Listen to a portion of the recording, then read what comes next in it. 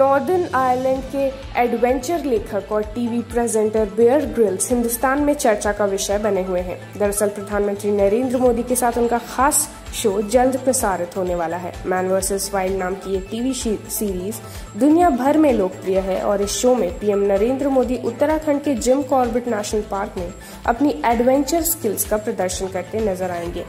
Grills ने साल उन्नीस से लेकर उन्नीस तक ब्रिटिश आर्मी में अपनी सेवाएँ दी थी। उन्होंने साल उन्नीस में 21 regiment of Special Air Service join की थी जहाँ उन्होंने सर्वाइवल की कई तकनीकों को सीखा था। साल उन्नीस में उनका एक भयानक एक्सीडेंट हुआ था।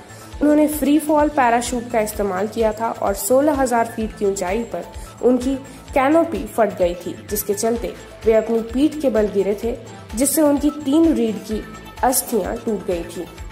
उन्होंने इस एक्सीडेंट के बारे में बात करते हुए कहा था कि मुझे मैन मैन पैराशूट को कट कर लेना चाहिए था, लेकिन मैंने टाइमिंग में चूक हो गई थी। उन्होंने अगले 18 महीने मिलिट्री रिहाब में बिताए थे और इसके साथ ही साथ वे अपने बचपन के सपने को पूरा करने में भी लग गए थे।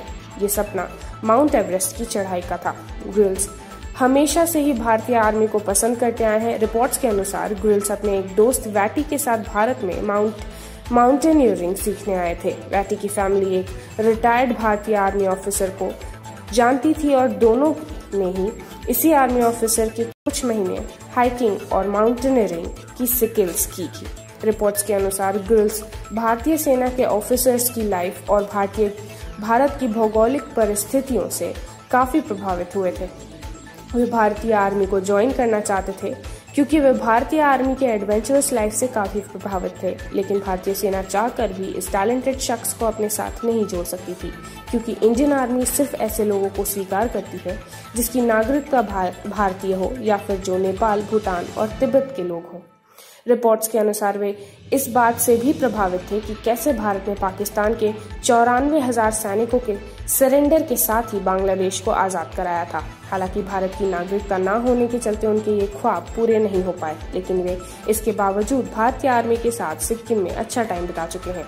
साल 2004 में ग्रिल्स को लेफ्टिनेंट कमांडर की उपाधि से नवाजा गया था और साल 2013 में रॉयल मरीन रिज़र्व ने उन्हें लेफ्टिनेंट कर्नल का भी रैंक दिया था। 16 मई उन्नीस ग्रिल्स को अपना बचपन का सपना पूरा करने का मौका मिला और वो कामयाब हुए। उन्हें, उन्होंने अपने एक्सीडेंट के 18 महीने बाद माउंट एवरेस्ट की चढ़ाई की।